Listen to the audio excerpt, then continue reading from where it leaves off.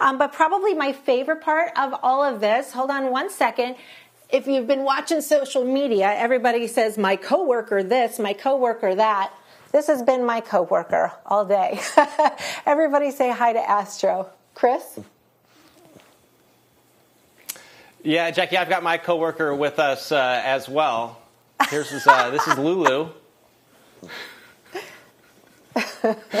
Hi, She's uh, her. She got it. She's her and her brother, brother Larry, who's about twice the size as she is, will come and hang out. We're actually in uh, our garage here. Uh, the uh, my wife and I. My wife has a similar occupation, so we both are using this. We actually put this together with some of our stuff in our garage. So in that door there.